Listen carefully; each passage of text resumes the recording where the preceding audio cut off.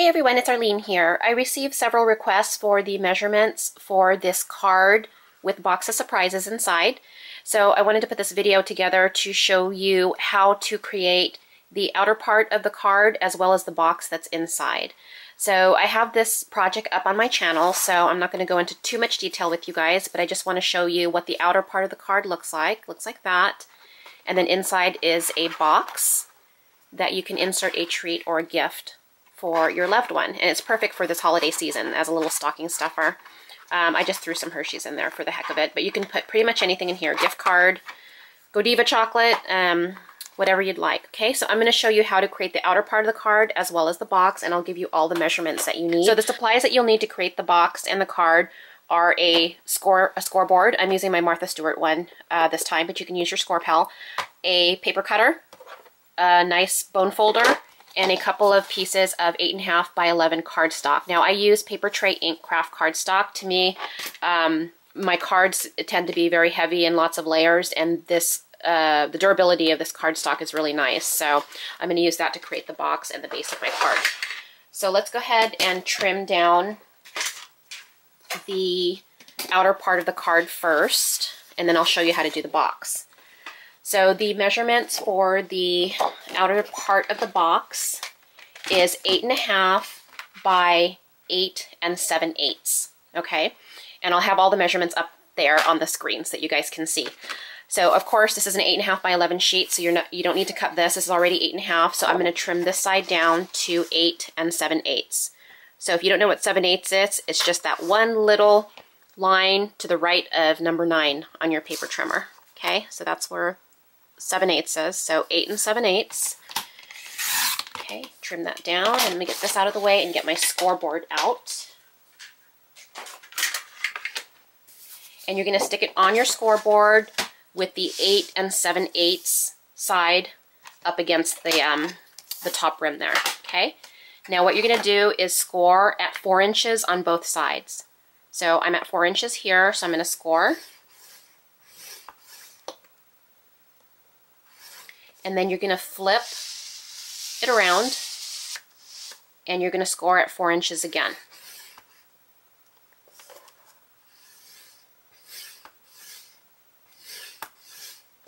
Okay, now I'm going to take my little bone folder here and get this out of the way. And I'm going to burnish it at the score lines. Okay, and this is what you get. All right, so this is going to be the outer part of your card. So just to show you that in relation to the actual finished project, this is what you have so far, okay? Now, if you want, you can round off the corners with your corner chomper, or you can use a decorative edge to punch out the corners, however you'd like. Um, I decided to keep mine just a straight edge. Okay, so we're done with the base. Let's get that out of the way. Now, for the actual box, you're only going to need um, an 8.5 by 11 sheet. And you can get the top of the box and the bottom of the box created with this, okay?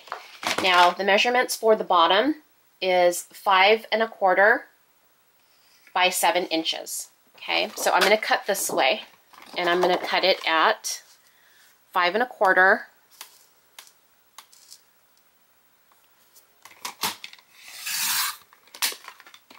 by seven inches. Okay, so that's the bottom of my box, okay? So let's set that aside. Now for the box top, you need to make that just slightly bigger so the fit is not so snug. So what I've done is, in terms of measurements, is I've added 1 16th of an inch to both the length and the width of my trim, if that makes sense.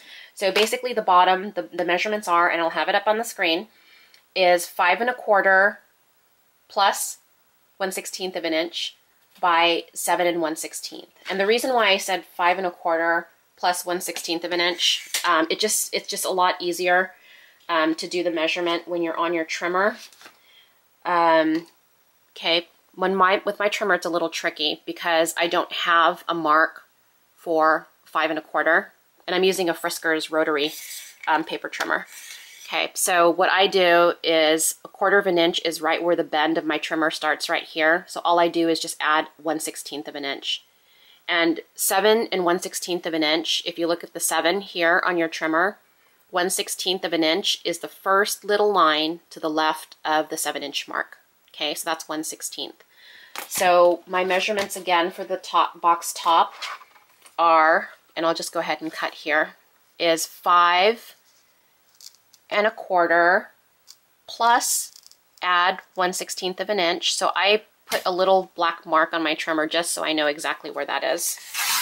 Okay, and then lengthwise is 7 and 1 16th. Like I said, you bring it to 7, and then the 1 16th mark is that one little bitty mark to the left of 7. And the reason why we're doing it just a smidgen again is because when you put your box top on, you don't want it to be too snug and kind of struggling with the measure, um, with putting it on and off, taking it on and off from the card. All right, so in terms of scoring, you want to score at 3 quarters of an inch on both the length and the width. And I'll show you what I mean here in a second. Okay, so you take your, so you take your scoring tool and you're gonna score it at 3 quarters of an inch on every side. So where's 3 quarters of an inch? So here's a quarter of an inch, half an inch, 3 quarters of an inch. Okay, so 3 quarters of an inch and you just turn it and you do 3 quarters of an inch again. And you turn it and do 3 quarters of an inch again. And turn it and 3 quarters of an inch again.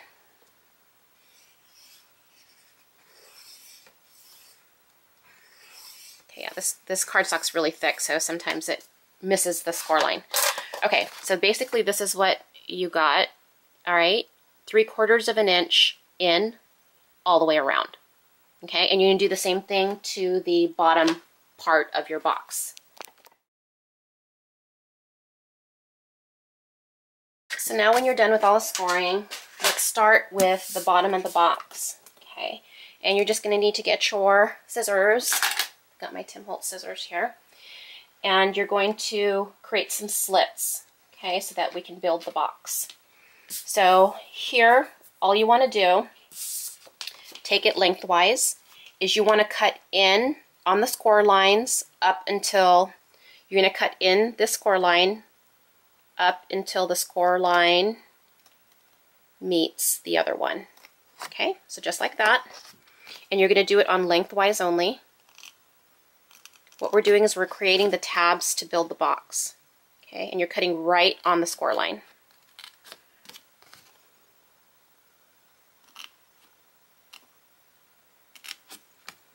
I think I missed this one. Okay, that one's fine. Okay, now when you got that done, what you're going to do is you're going to angle what we're trying to do is we're trying to create a little triangle because we're going to create a tab to fold in and build the box. So you'll have the little slit here. What you want to do, and I just eyeball this, you don't have to measure it, you just cut a little triangle all the way up to where the score lines meet again. Okay, so it's going to look just like that. Okay, again, I don't measure this, and there's really no need to, because it's really just folding in the tab and having somewhere to build the box, uh, to pull the box together. Okay, so it looks like that. Here we go again. Little triangle up to where the score lines meet. Same on this side. Little triangle up to where the score lines meet. Okay, when you're done, this is what it looks like. Okay, you're going to do the same exact thing to the top of your box. Okay, so once you have those done, you're going to take your bone folder and actually this is probably the perfect time for you to decorate your, um, your box. Now since this is the bottom, I actually mark this one so I don't get confused um, as I'm doing it. This one says top, so this is the top of the box, this is the bottom of the box. Now if this is the bottom of the box and you're going to be folding inward like this, okay hold on, let's go ahead and build the box so that you can see what I mean. So basically at this point you just fold at the score lines, okay? if you're going to ink your box, like ink the edges and um, layer design paper, do it before you build the box. It makes it a lot easier.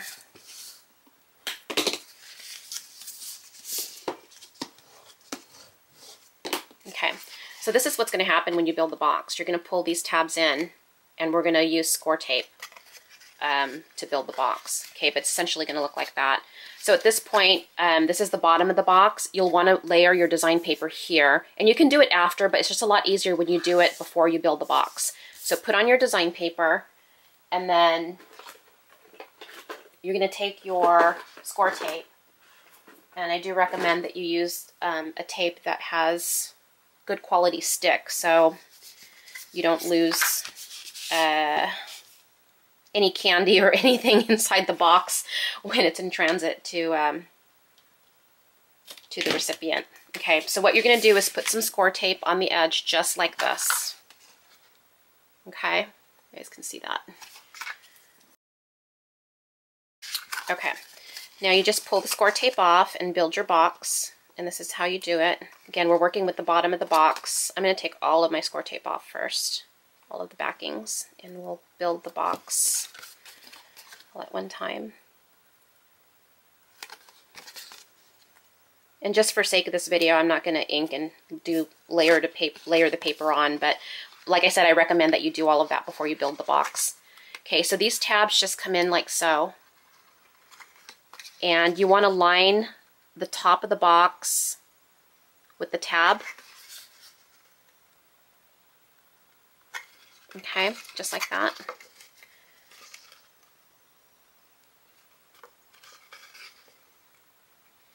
Okay, so there you go. So you have the bottom of your box, okay? And of course your box will be nice and decorated. Oh, and when you build the bottom of your box, sorry, one other uh, piece that I forgot to, to let you know.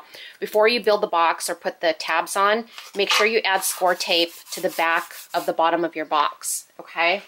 Because you're going to be putting the box down onto the card and you want to make sure it doesn't fall off. So I put this bottom of the box down with score tape on the back side of the box. Okay, so make sure you do that before, again, before you put the box together because it'll be hard to, to push down on the score tape to make sure that it's holding really well. Okay, so there's the bottom of your box. Now for the top of the box, before you do anything, what I recommend you do, if you plan on making the window, uh, to your box like I did on mine. Let me just show you again. Okay, I created this window using a Spellbinders die. Okay, so I used a smaller one, and then with the design paper, I use the nesting larger one. Okay, so that I have a border around my window. Okay, so you want to take your, before you do anything in terms of building it, you want to take your, your, um, your die. I'm just taking the oval ones here. And this is a CD case, by the way, if you're wondering. I just It's just easy for me to put my nesting um, dies in there. But you just basically run it through your die cutting machine, okay? And do that before, again, before you build your box. And then when you're done with that, I also recommend, but it's not necessary, you can go ahead and put the um, the acetate on, or you can do it after, it doesn't matter. But basically the acetate is just a piece of square large enough to cover the, the opening, and I use glossy accents to adhere it down, okay? So for sake of the video again, I'm not gonna do that, but you're gonna put your score tape on just like you did with the bottom, okay?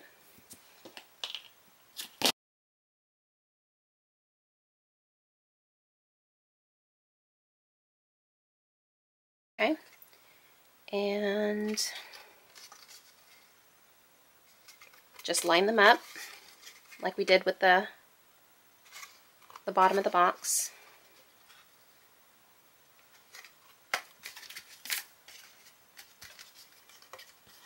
Okay, and the top of your box